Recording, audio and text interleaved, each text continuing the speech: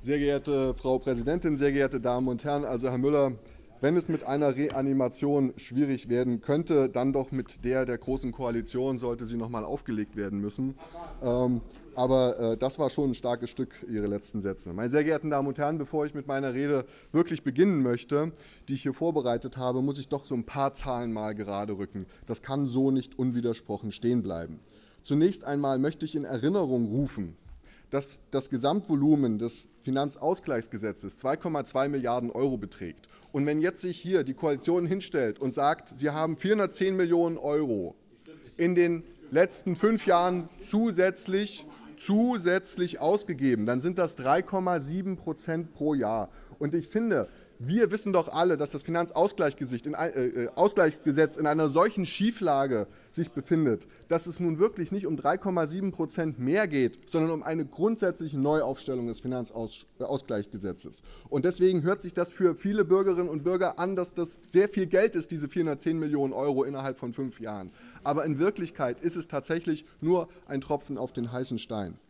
Meine sehr geehrten Damen und Herren, dann möchte ich noch mal auf den Punkt eingehen, dass immer wieder vorgetragen wird, Mecklenburg-Vorpommern sei eines der wenigen Bundesländer, das die Kosten für die Unterkunft der Flüchtlinge übernimmt, für die Kommunen. Das war vielleicht mal Mitte 2015 so. Aber wir wissen zwischenzeitlich, dass der Bund für alle Bundesländer de facto diese Kosten übernommen hat. Das heißt, als es dann wirklich relevant wurde und wirklich teuer wurde, hat es der Bund gemacht. Und davor, wissen wir alle, war es sehr überschaubar. Meine sehr geehrten Damen und Herren, und dann möchte ich noch mal darauf eingehen, auf dieses 160 Millionen Euro Paket. Das war meines Erachtens die größte kommunalpolitische Frechheit, die wir in dieser Legislatur erlebt haben. Denn Sie haben in einer kleinen FAG-Novelle, in der ganz kleinen, haben Sie den Kommunen erst 40 Millionen Euro aus der Tasche gezogen. Sie können sich vielleicht noch erinnern, da haben, haben, nämlich die kommunalen Spitzenverbände gesagt, ihr habt da 40 Millionen Euro bei den Aufgaben im, im übertragenen Wirkungskreis vergessen um dann wenige Wochen später in einer großartig inszenierten Show diese 40 Millionen Euro für vier Jahre, nämlich dann 160 Millionen Euro, zurückerstatten. Das ist aber das Prinzip linke Tasche, rechte Tasche. Und ich fand es einfach eine Frechheit, Geld, was den Kommunen zusteht, in einem großen solidarischen Hilfsakt oder Gebaren ihnen wieder zurückzugeben. Das war großes Schauspiel, große Frechheit, aber es hat den Kommunen unterm Strich nicht geholfen. Zudem meine sehr geehrten Damen und Herren, fand ich eben gerade das Bild des Innenministers sehr schön, als er sagte, das Innenministerium und das Finanzministerium haben in den vergangenen Jahren an einem Strang gezogen. Die entscheidende Frage ist aber, haben sie auch in die gleiche Richtung gezogen? Und das möchte ich bezweifeln. Denn dass das Finanzausgleichsgesetz jetzt auf das Jahr 2018 vertagt wurde, die große Novelle, ist ja Ausdruck dafür, dass Innenministerium und Finanzministerium eben unterschiedliche Richtungen des Strangs gezogen haben und sich deswegen nicht einigen konnten und es daraufhin zu der Vertagung kam und es gesagt wurde, na, in dieser Legislatur wird das nichts mehr, wir machen jetzt mal ein ganz langes Gutachten und damit kann sich dann die nächste Regierung beschäftigen. Also großes Theater, meine sehr geehrten Damen und Herren. Wir müssen uns aber schon die Probleme im Detail anschauen. Meine sehr geehrten Damen und Herren, das Herz unserer Demokratie schlägt in unseren Kommunen. Dort engagieren sich die Bürgerinnen und Bürger tagtäglich für unsere Gesellschaft. Starke Städte und Gemeinden sind das Fundament einer lebendigen demokratischen Kultur. Meine sehr geehrten Damen und Herren, ja, das Herz unserer Demokratie schlägt in unseren Kommunen, aber das Herz dieser großen Koalition schlägt nicht für unsere Städte und Gemeinden. In den vergangenen fünf Jahren wurden die Kommunen an so kurzer Leine gehalten, dass vor Ort vor allem die Verwaltung des Mangels auf der Tagesordnung stand.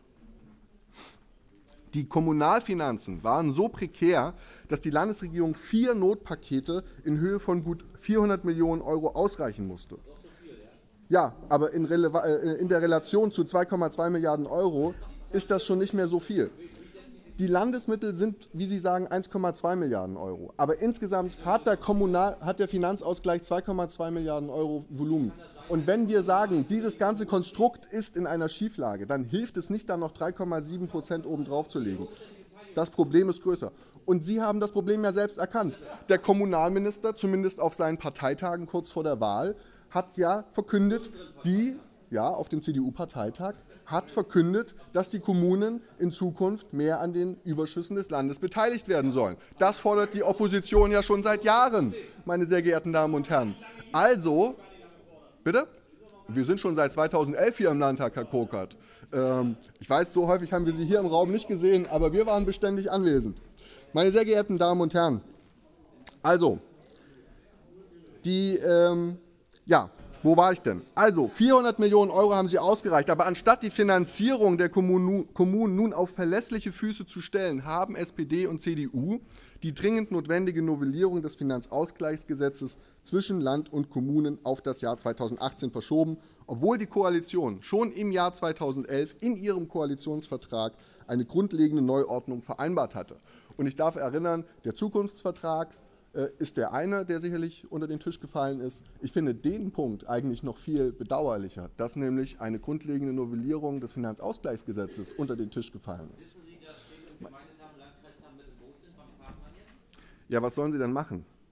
Die, denen steht ja das Wasser so sehr zum, äh, äh bis zum Halse, dass sie ja gar keine andere Wahl hatten, als zu sagen, ja, machen wir das. Ich finde, das ist eine sehr ungleiche Situation und Sie wissen ganz genau, dass das Land da am längeren Hebel sitzt. Und ähm, die Kommunen müssen da mitmachen. Da müssen sie selbst grinsen, Herr Renz. Ne? Ich finde das traurig, weil ähm, das ist wirklich keine, keine äh, schöne Situation für die Kommunen.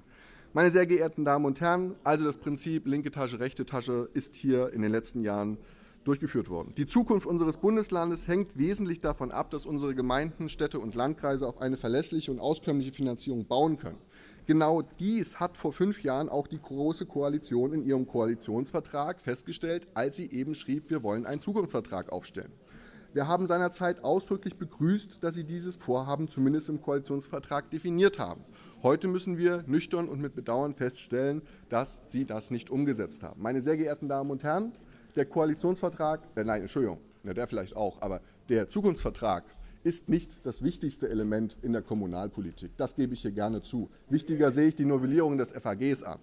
Aber der, die, der Umgang mit dem Zukunftsvertrag ist eben symptomatisch, auch für den Umgang der Koalition und der Landesregierung mit den Kommunen.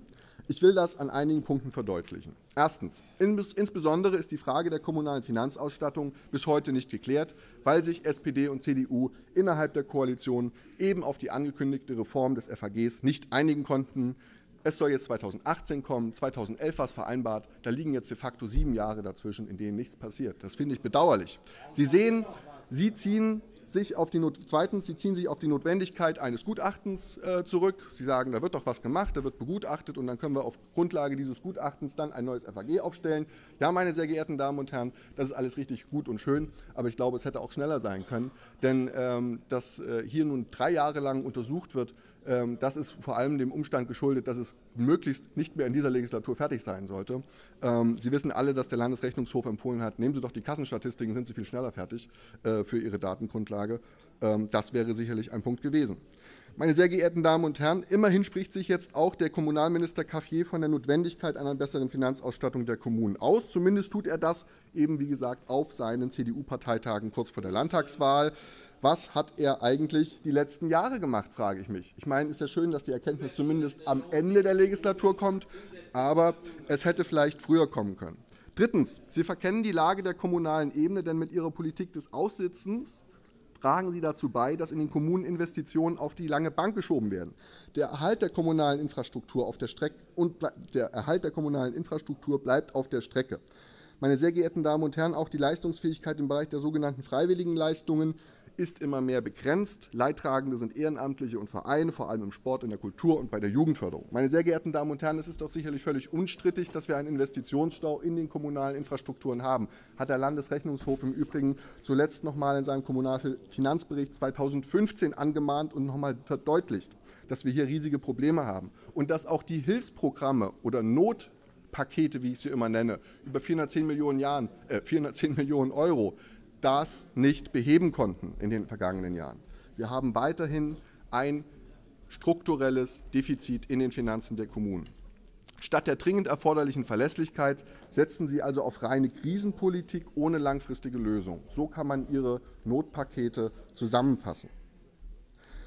Das ist auch das Gegenteil von nachhaltiger Finanzpolitik, wie ich sie verstehe. Viertens. Sie ignorieren offensichtlich, dass ein erheblicher Anstieg der kommunalen Kassenkredite zu verzeichnen ist. Diese sind zum Ende des Jahres 2014 immerhin auf einen Rekordwert von 700 Millionen Euro gestiegen. Das ist ein Anstieg in den letzten drei Jahren von etwa 200 Millionen Euro. Das damit verbundene strukturelle Defizit nehmen Sie offensichtlich nicht zur Kenntnis, wenn Sie sagen, alles ist bestens. Denn das ist ja wohl die Botschaft heute äh, vom Auftritt des Innenministers und der Vertreter der Koalition gewesen. Alles bestens, die Zahlen sprechen aber eine andere Geschichte und haben eine andere Botschaft. Die sind bei einem Rekordstand der Schulden in den Kommunen. Fünftens, bei der Stadt-Umland-Umlage sind sie wie ein Tiger gesprungen und als klassischer Bettvorleger gelandet. Zur Erinnerung, im FAG bestand mal eine Stadt-Umland-Umlage, die durch das Verfassungsgericht in ihrer damaligen Ausgestaltung gekippt wurde. Mit der aufgeschobenen Überarbeitung des Finanzausgleichsgesetzes wird auch die Neuregelung der Stadt-Umland-Umlage vertagt, und zwar bis ins Jahr 2018. Dies ist unverständlich, da eine verfassungskonforme Umsetzung bereits seit April 2013 in der Schublade des Innenministers liegt. Die Städte stellen zusätzliche Leistungen und Infrastruktur für ihr Umland bereit. Ein entsprechender Ausgleich für diese Mehrkosten ist gerechtfertigt. Und das wird ja auch im Land noch nicht mal von den Umlandgemeinden bestritten. Das finde ich ja echt famos. Da gibt es eigentlich keinen Streit drüber. Aber unsere Zentren werden hier Jahr für Jahr um äh, mehrere Millionenbeträge äh, insgesamt gerechnet, kumulativ, ähm, ja, gebracht. Und das finde ich nicht gut, meine sehr geehrten Damen und Herren. Und jetzt muss ich nochmals auf die sogenannten Kommunalgipfel der letzten Jahre zu sprechen kommen. Dort wurde nur Krisenpolitik betrieben. Die jüngsten Gipfel sollten Integrationskonzepte zwischen Land und Kommunen voranbringen. Aber was liegt denn nun nach über einem halben Jahr Gipfelei konkret als Ergebnis vor? Nichts. Wo ist denn das Integrationskonzept? Wir hatten es ja äh, als Opposition, Linke und Grüne mehrfach angemahnt, hatten eine Aussprache dazu, hatten Anträge dazu, hatten selbst Vorschläge gemacht, wie man das gestalten kann, wie man sich auf den Weg machen kann. Dann hieß es, nee, brauchen wir alles nicht. Landesregierung, Kommunen sind auf einem super Weg. Es gab ja schon den ersten äh, Flüchtlingsgipfel, es wird noch einen zweiten geben. Das soll, glaube ich, im April stattfinden. Von dem hat man nie wieder was gehört, außer es gibt ein Ergebnis. Man hat die Verantwortung weitergeleitet auf den Bund. Der solle mal mehr zahlen. Das war der kleinste gemeinsame Nenner, auf den sich das Land zurückgezogen hat. Meine sehr geehrten Damen und Herren, ich komme daher zum Ende meiner Rede. Das Herz unserer Demokratie schlägt in unseren Kommunen, aber das Herz dieser großen Koalition schlägt nicht für unsere Städte und Gemeinden. Vielen Dank für Ihre Aufmerksamkeit.